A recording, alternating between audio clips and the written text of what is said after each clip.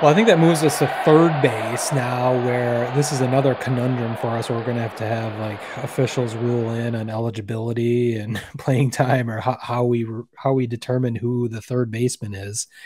I think if we determine that Kris Bryant was third base eligible, I think he'd be it easily. Um, if you just look at, he's an MVP candidate at this point, although he's had a tough tough couple of weeks here, but his his numbers overall would put him far and above. But this year he hasn't played third base. He's I know there was a stat at one point where he hadn't played third base since like the third week of April. I believe he's played once or twice since then, but he he's an outfielder basically. So I, am putting him in in the in the Major League A holes outfield eventually. But what what's your ruling on that? Would you make him third base eligible for us? I I don't think I've seen him play like when I've watched a game. I don't say think I've seen him at third. Yeah, I mean it's it's been since the beginning of April since he has. So I just we could be. I think it's more more fun if we put him in the outfield for one thing, but. I think I think realistically, it's it, eh. he is not a third baseman right now. Well, I hope so, he makes the roster now that we moved him to outfield. No. yeah, just kidding. Just kidding. well, like you were joking before, we could make him. We could have him play. He would. Well, he might win actually, every position because yeah. he could yes, be a first baseman. He could. He could be a center fielder. He could be. He's he's basically been everything but the middle infield, I think, and catcher. Yeah. So, um, this is this is this is a pretty underwhelming position. It's it's surprisingly underwhelming, and I I almost wanted to make this, or maybe I will make this my asshole question for you this week. Um, out of the blue, blindsiding you with this. You were not prepared for this at all, and that's how asshole should work. What the fuck is wrong with Yoan Moncada? Especially when you pointed out two weeks ago his incredible yeah, that article. Well, once that article got published, his average has dropped twenty points. His BABIP.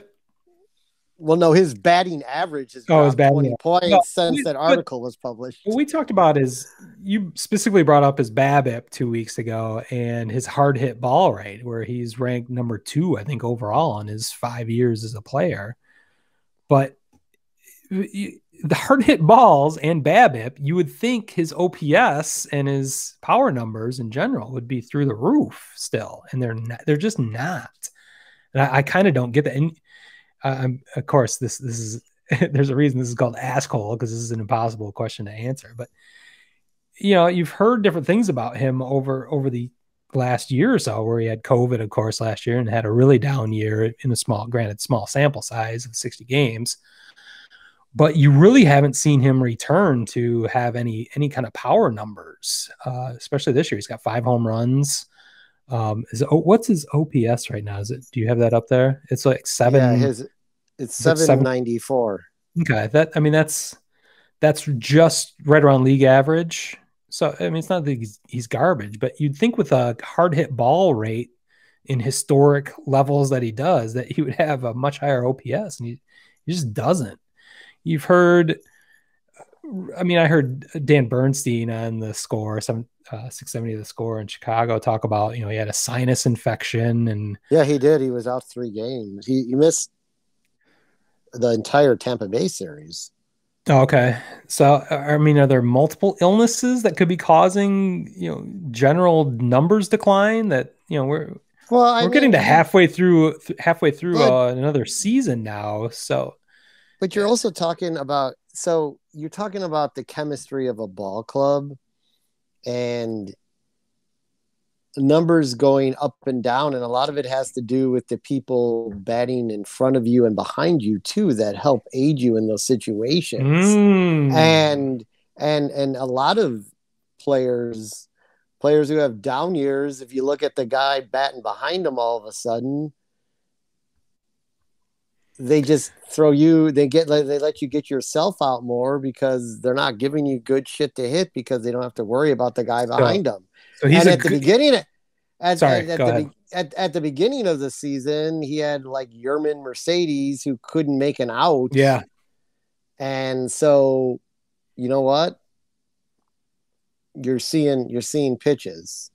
So So he can support. I'm putting words in your mouth here, but he could support a solid team, but he can't carry a team on his own. Like, I, like and I, I don't, I don't think he ever was going to be a guy who would carry a team no, on his own. I, I, I mean, I mean number one prospect in baseball. You, no team, no, no guy carries. Does how how good have the uh, uh, Angels done since Mike Trout's been there? So there's the exact example. You can't carry. Well, yeah, but his numbers aren't declining based on who's around him. I mean, they they well, I don't know. They numbers. did.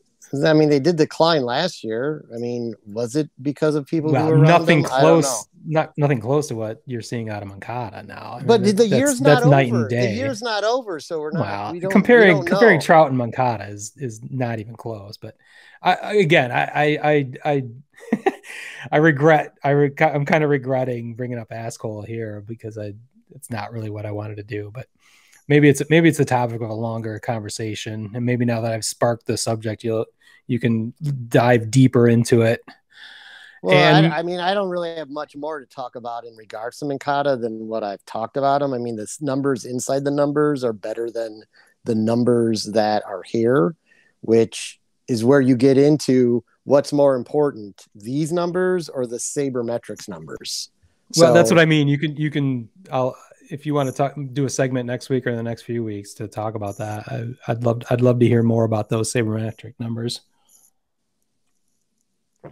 Um, yikes. Uh, what do we got next? So, oh, wait, wait, what do we do for we base? have Who is third base? I mean, so it's not Moncada.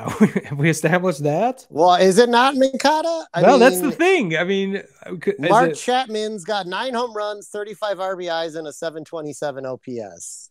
It's, I mean, I, I mean, would, I would almost go Moncada. I mean, they're they're kind of the same at that point. You can't you can't put wisdom in the All Star game. He barely has his sample size is too small. There's my problem. Like wisdom actually has really great numbers, but it's been for three weeks or whatever it is. So we got to make a ruling here. So we're not we're not going to include someone that's only played for three weeks. We're not going to include Chris. Oh, I lost Pete. That's unfortunate.